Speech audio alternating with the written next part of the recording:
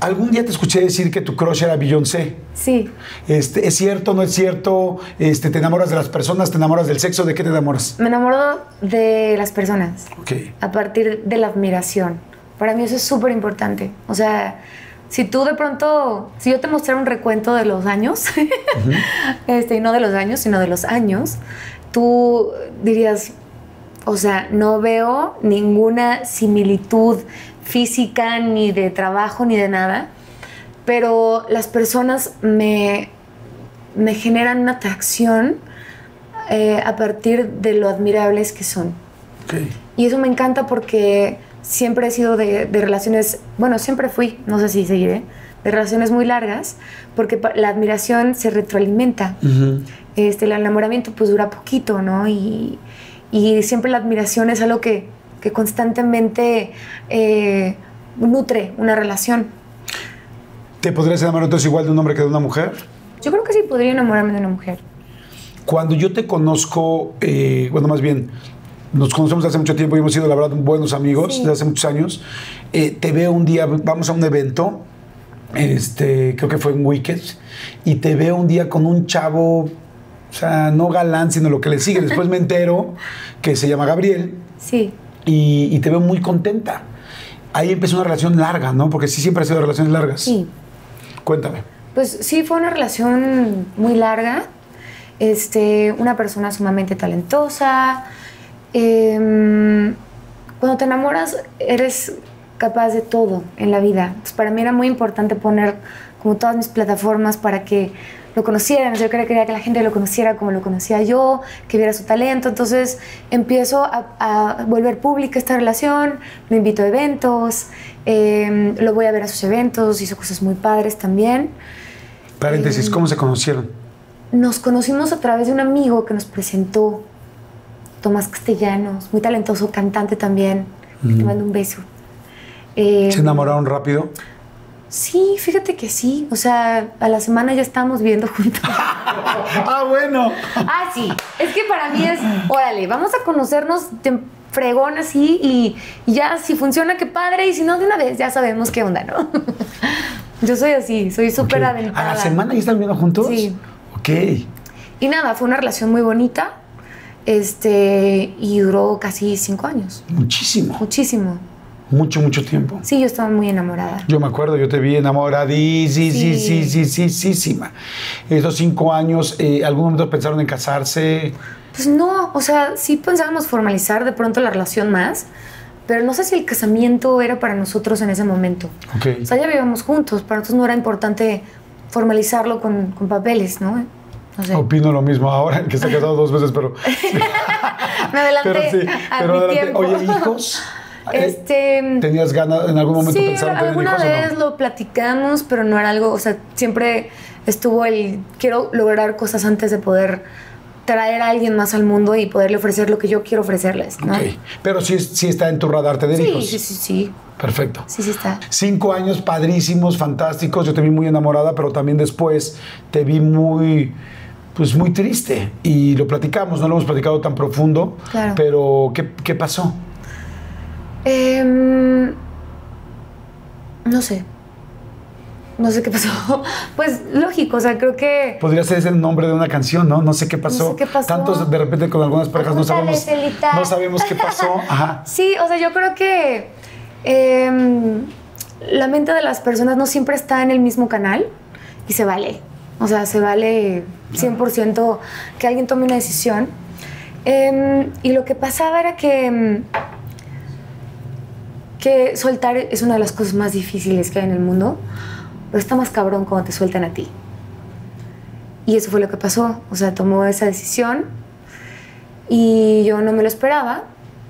Y aparte, o sea, me choca porque no, no, quiero como generar ni hate ni nada porque es un gran tipo y está muy feliz ahora con alguien más, está increíble porque eh, creo que una persona tan chida se merece toda la felicidad del mundo. Pero además no, no creo que se genere ningún hate. Todo el mundo hemos algún día terminado una relación. Claro. Todos. O sea, no creo que haya una persona aquí que no haya terminado una relación. Todos hemos algún día dicho, ya no puedo, ya no más mis intereses. ¿Qué, o sea, ¿cómo Pero fue creo ese que día? Eso, creo que no lo hizo, creo que se le salió de las manos un poco el formato, ¿no? ¿Por qué? Porque en vísperas de mi cumpleaños 14 de febrero.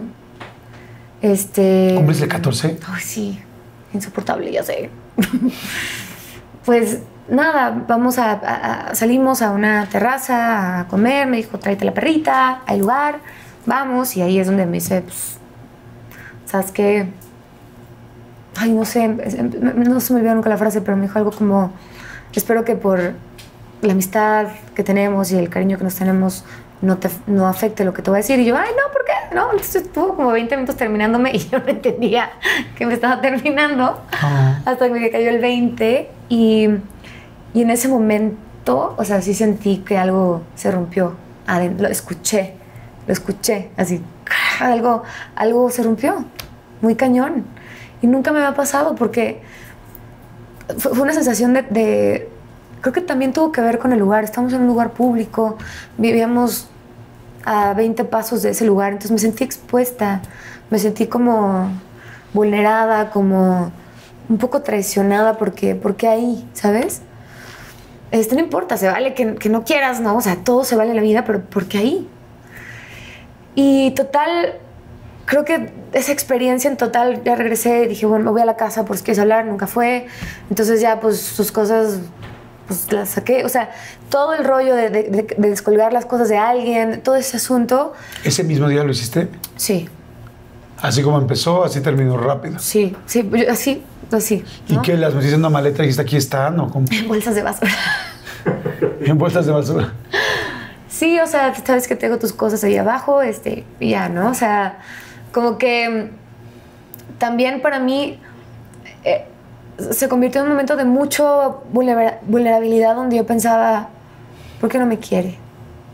Si yo lo amo, ¿no? O sea, esa, esa, sensación horrible en el que pasas por muchos momentos de cuestionamiento donde te cuestionas tú y no tiene muchas veces nada que ver contigo, ¿no? O sea, pudieron, como nunca me dijo por qué, y se lo pregunto muchas veces y nunca supe, uno se hace sus propias ideas, ¿no? Y entonces, en un principio era, a lo mejor, no sé, este, no le gustó físicamente o, o, algo cambió en mí o no era suficiente. Y lo que tiene que quedar simple y claro es que eres más que suficiente. A lo mejor fue demasiado.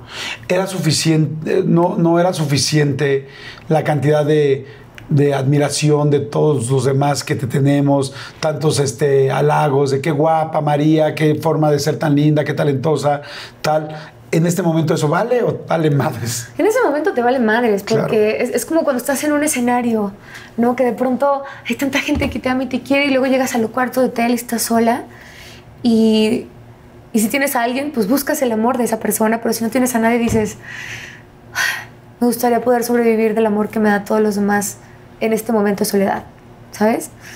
Entonces en ese momento te vale madre todo. Claro era porque esta persona que yo amo y a quien le he dedicado mi vida y a quien le he puesto todo, todo en servicio de, su persona y de su vida, ¿qué pasó? ¿No? ¿En qué fallé? Y, nada, o sea, no es culpa de nadie, no es culpa de él, no es culpa mía. Eh, es entender los procesos. Me hubiera gustado que hubiera sido en la casa, ¿no? No, no exponerme de esa manera enfrente a la gente. Eso es lo que hubiera yo cambiado de la forma en que lo hizo. ¿Cómo vinieron los siguientes días y meses? Horrible. O sea, yo, yo me sentía muy triste y, también te voy a decir una cosa, también había sido un golpe al ego. No solamente al amor, sino al ego. Diciendo, yo que te apoyé, yo que estaba dispuesta a aguantar estas cosas que no estaban tan bien en la relación y que tú me dijiste que le ibas a echar ganas y al final tú me terminaste a mí. Em, entonces fue mucho, mucho lo que pasó, pero me dio un disco hermoso. O sea, de pronto, lo que siempre me pasa, Jordi, o sea, y eso me lo regaló mi mamá, me lo regalaron mis papás, el poder convertir el dolor en música o en arte. Y así como pasó cuando este, empecé a buscar mi, mi, camino como solista, así también llegó este disco que se llama Inquebrantable, eh, y que un poco narro y trato de acompañar a la gente que vive un desamor desde el cuestionamiento, o sea, está por canciones dividido, o sea, amor ilegal, te enamoras de quien no te tienes que enamorar, ¿no? Eh, después el enojo cuando te terminan, que ese te salió mi nombre, que como nunca supe por qué, pues yo le puse una razón, que posiblemente se había vinculado con alguien, ¿no? Y, y para mí era más fácil escribir una canción de eso y, soltar. Eh, Luego la tercera es cuando pasa el enojo y vives el duelo. Que eso yo lo vi durísimo porque yo le hablaba a mi mamá y mi mamá me, me decía una frase que, que siempre la digo, pero la voy a repetir por si alguien no la ha escuchado. Y me dice mi mamá, mi amor, te rompieron el corazón, no las piernas. Y las tienes hermosas, así es que levántese y búsquese otro. y, y, sí, o sea, empecé a salir con un montón de gente este, que me llevó a conocer amigos que hoy amo con locura y que me ayudaron a salir de eso. Y en esta etapa escribí una canción que se llama Así es amar, que después me arrepentí de haberla escrito porque en los conciertos la tenía que cantar y se convirtió en, en el martirio, ¿no? Pero también en la terapia. ¿Y ahí llorabas? Todo el tiempo.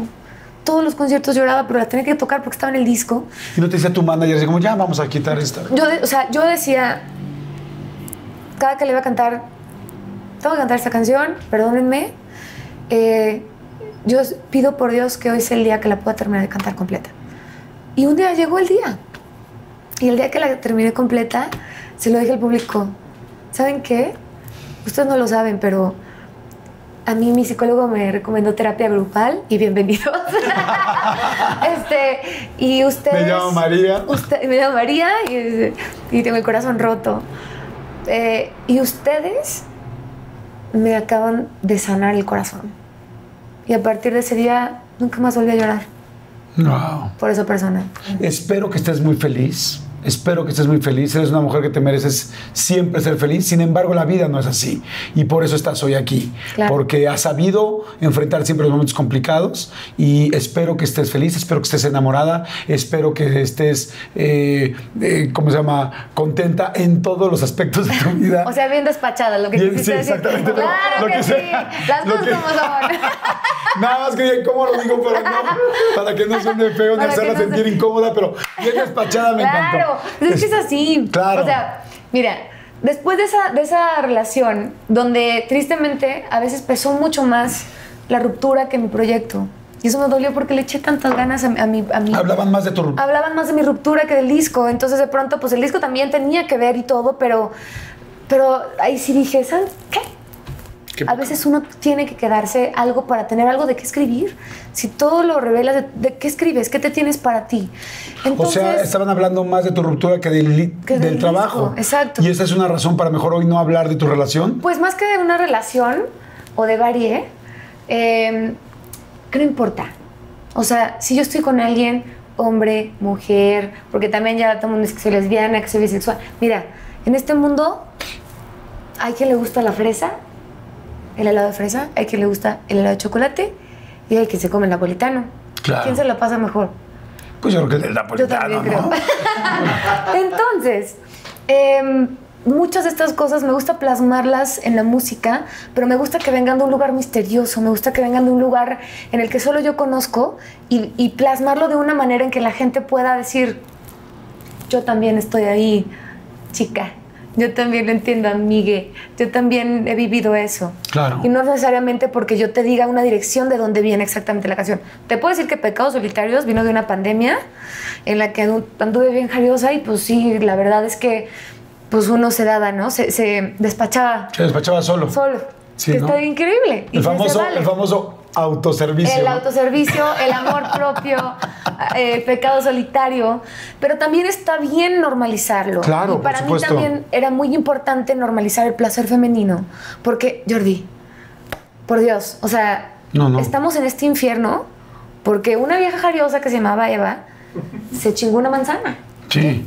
Que- Imagínate la culpabilidad de todas las mujeres que por nuestra culpa, por culpa de una vieja como nosotros, estamos, o sea, Y no se dice qué rica estaba la pinche manzana. Exactamente. No se dice que y Adán estaba bien bueno. Y que llevaba No un se dice que afortunadamente estamos todos aquí Y gracias que a como eso. Adán no le dio de comer, pues ella tuvo que buscar. Claro.